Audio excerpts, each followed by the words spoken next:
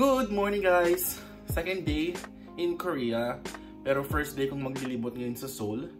And I'm wearing my glasses today kasi nagkaroon ako ng eye allergy yesterday. Aww. Namumula lang yung mata ko hanggang ngayon. So, salamin na lang ako. Samahan niyo ako ulit and I'll tour you around Seoul. OOTD guys. I'm wearing uh, boots from Aldo, pants from Hollister, um, shirt, turtleneck from Uniqlo, and this sweater is from Aldo, uh, Coach. Balintaran siya, pwede siyang gray and pwede siyang yellow. Pero since I'm wearing all black today, I decided to go on the yellow side. So yeah, with umbrella kasi may forecast na uulan. Anyway guys, I'm starting really late today kasi maulan nagkaroon ata ako ng hangover dun sa ininom kong soju from last night. Pero okay na ako ngayon. Sumasakit na yung ulo ko kanina. And umuulan na naman. Sana wag akong tamarin. Pero I doubt. At tamarin ako nito. Pero push pa rin. Let's explore Seoul! Ang lakas ng ulan guys well not really malakas compared from yesterday pero buti na lang may payong na ako. And foggy. Look guys very foggy siya. And rush just na ng umaga. So yeah. As you can see from here yung, yung taas na yun yung Namsam Tower sobrang foggy guys hanapin ko yung Yongdong first information to inquire about what I can do. And i-bilhin ko na lang yung sa 48 hours na Seoul Pass para I can ride the public transport and visit museums for free. Myeongdong guys pag umaga. So sarado pa yung mga stores they normally open at late in the morning, I mean tanghali and then yung madaling araw sila.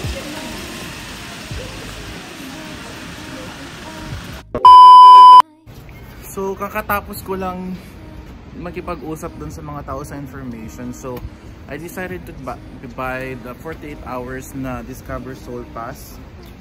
So this is how the pass looks like guys. Fortunately binuksan ko na kanina doon. So, umpisan ko na siyang gamitin. And mag-a-activate lang siya from the first um, location na pupuntahan ko. So, this is it. So, I'm just gonna go and roam around and explore Seoul. Yeah, samahan nyo ako. Nakaka-stress yung ulan. Lalo pang lumakas. May gulay. So, sana ma-maximize ko itong binili kong card pero kapag tama rin ako sayang lang pero it's okay. Napin ko lang yung bus stop and then pupunta ako first sa saan ba yun? SM Town Museum. Kasi kapag pinuntahan ko yung museum na yon bawi ko na agad yung pinambili ko ng card. While walking guys nakita ko tong temple ba to? This is a Bell Pavilion. And Oh, there. So bawal atang pumasok. Pero nice one, right? May kampana eh. I mean may bell sa loob. There guys, oh. Yung bell. This is way back Joseon Dynasty daw mahilig kayo sa mga Korean, you will you know what I mean.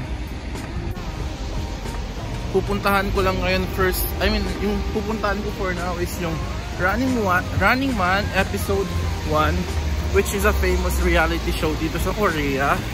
Kasama siya sa Discover Soul Pass ko so I'll take advantage of it. So, this is that guy, Running Man. There go. I have to go down. I think I have to go down. Yes guys, I think I have to go down. Oh my god, sarado sila. Oh no!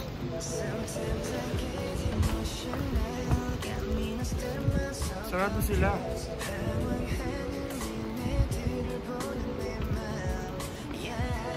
Not sure pero check ko lang guys.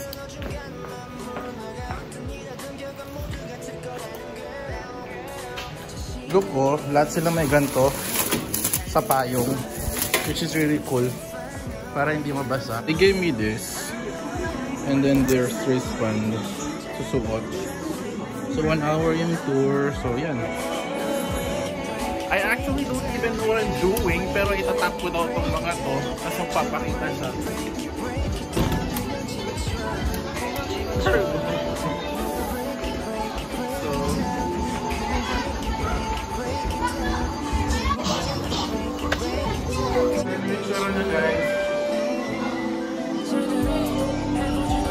Kailangan ko lang maghanap ng ganito na may R.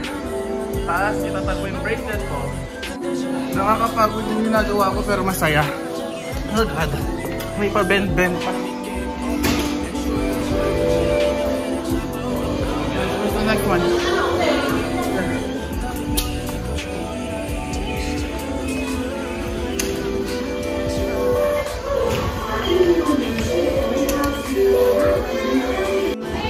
Physical dito guys. Nakakapagod, my God. I wanted to try this one, kaso nga lang, wag na lang. I know I'm gonna fail. Where's the mic?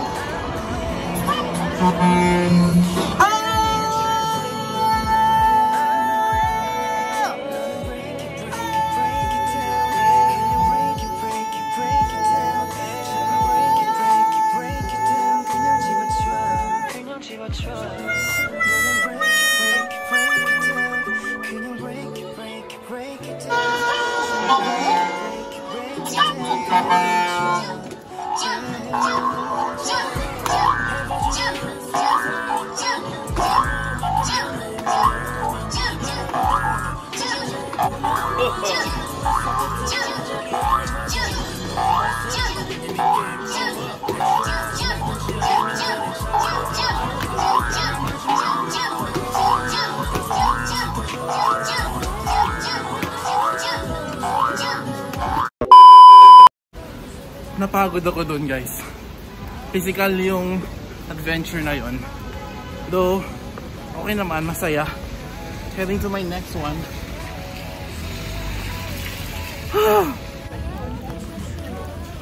Currently in Insadong, ang daming mga murang bilihin. Kaso nga lang, I didn't come here to shop. Kasi wala na lang paglalagyan. Pack na pack ng aking maleta. Kaya, so this is my next stop guys. Dynamic Maze and Alive Museum. Ah, that's the one.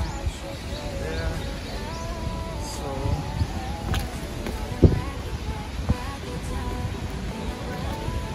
Ano na yun? Sarado.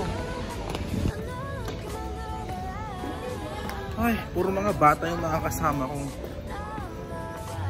So yan, may malakas silang dinosaur.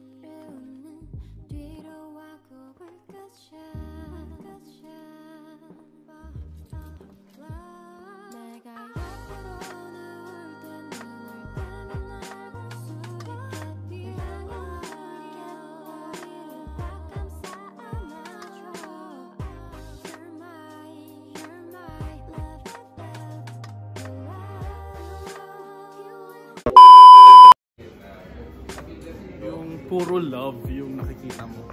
Tapos wala ka nun. Oh, ang saklap.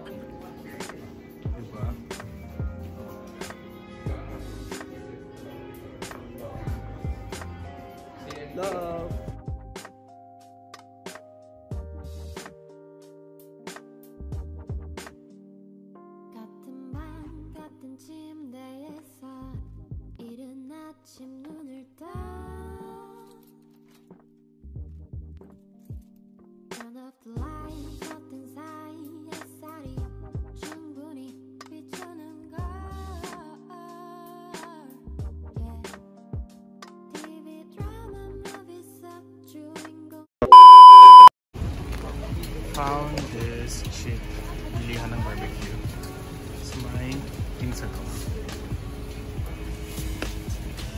Just gonna try one before I go to my next destination. Sa ating Puro ako food. Gusto yung pera ko.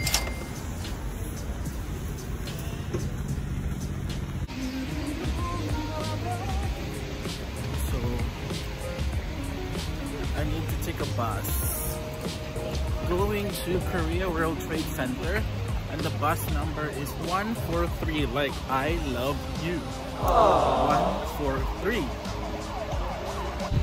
Nasa loob ng bus na naman ako and I'm going to Korea World Trade Center to see some K-pop. So yeah it's going to be a 30 minute bus ride so see you there Next destination guys, ang lakas pa rin ng ulan.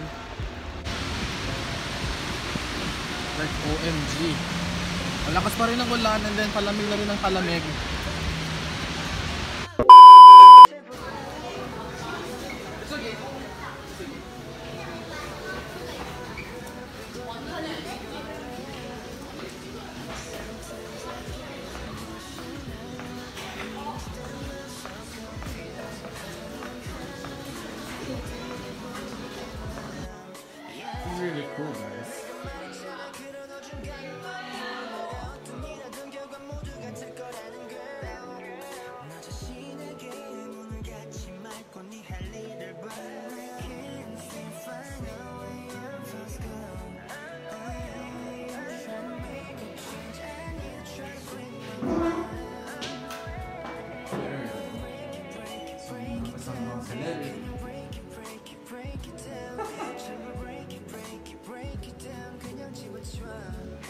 I know these guys are break it, break it down.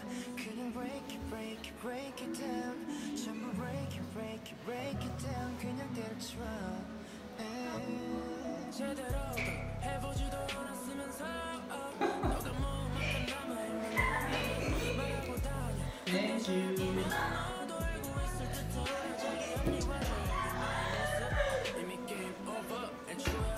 you.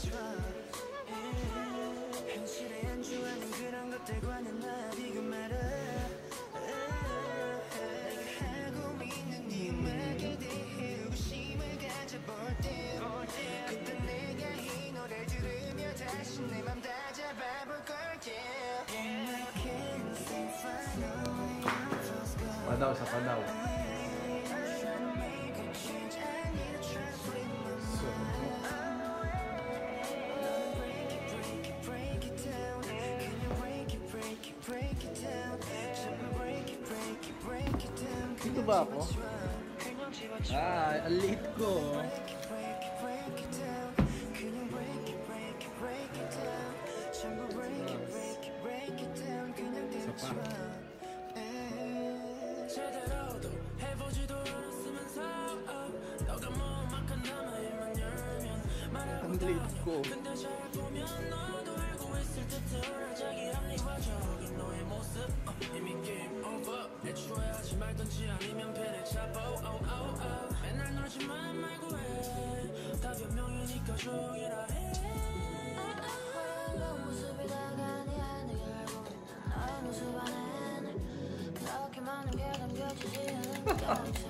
Sige, barilan ng heart.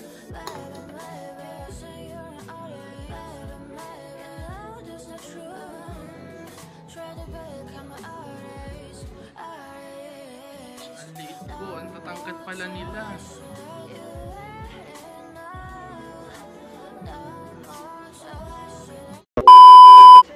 Hindi ako makapag-record guys kasi nag-play sila ng tugtog. Eh baka pag nag-record ako, makapiright lang ako. So dito guys sa may hagdan, wala kang maririnig na tugtog. So yan yung mga K-pop stars. Kayo ng K-pop, I guess this is a nice place na mapuntahan nyo. Talagang madami silang um, mga pictures, memorabilia, and everything. So, I think this is an art. Not so sure.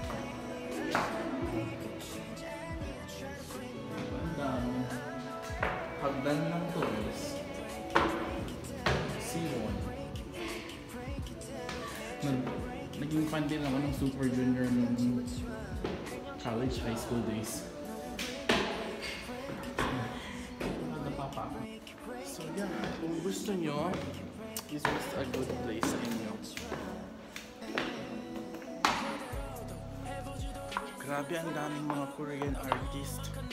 Tapos, yung mga memorabilia nila, pictures, mga ginamit na lang sa mga concert nila, ginawa na nila tong museum. Astig eh. So, nagkakitaan na rin nila. So, good job sa kanila. Imagine mo may mga paganyan sila. Like, yung mga celebrities nila and everything. Ay, sorry baby, sorry baby. And then look at the price. Ayan, 150 dollars yung pinakamalaking benchi. Guys, gusto ko yung number 3 kasi nga lang 725 at least yung number 2 330 na lang so yun lang yung. So I'm going to watch a concert ng EXO Love noong 2015. Shiny sana, kaso nga lang 7.30 pa, at least to 3.30, like I just gonna have to wait for 15 minutes. So kung fan kayo ng K-pop guys, make sure to just buy your Soul, Discover Soul Pass kasi this concert alone cost 45,000 won. Eh yung 2-day pass ko cost um, 55,000 won so it's so sulit. And then yung gallery kanina sa baba it cost 18,000 won. So kapag binili nyo yung pass at pinuntahan nyo tong SM Town Gallery and live concert, bawing-bawi na yung binili nyo ng pass. So, see ya! And manonood lang ako ng concert.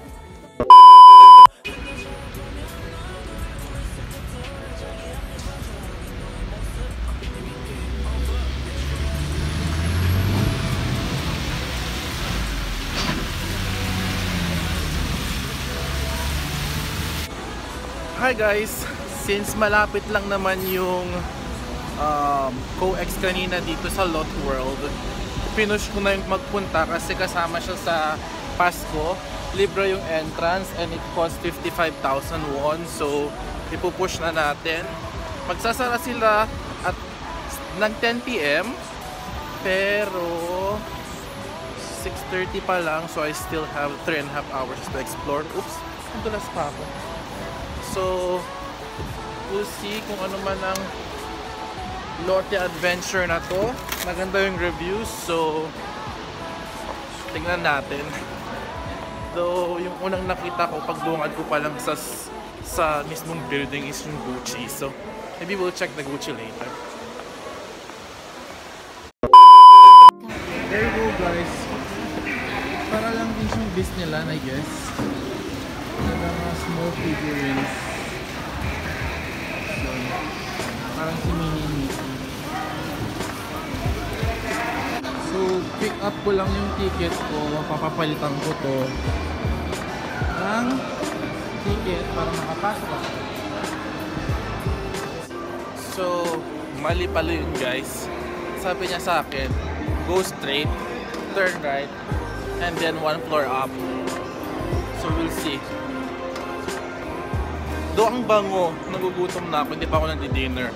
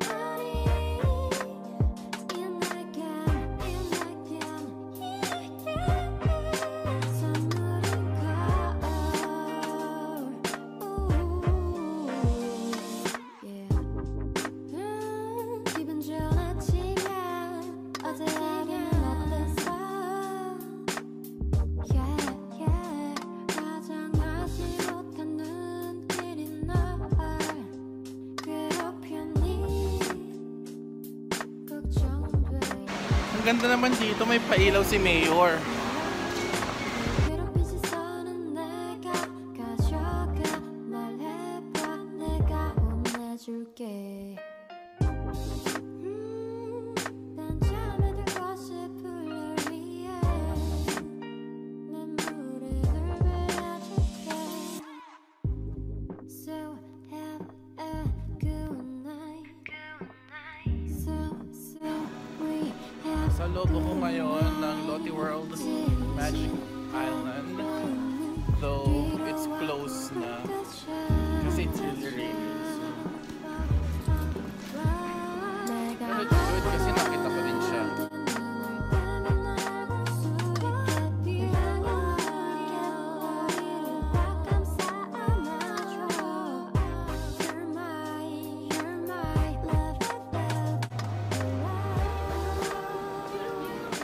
Nice to see, so next time, alam ko na may babalikan, di ba?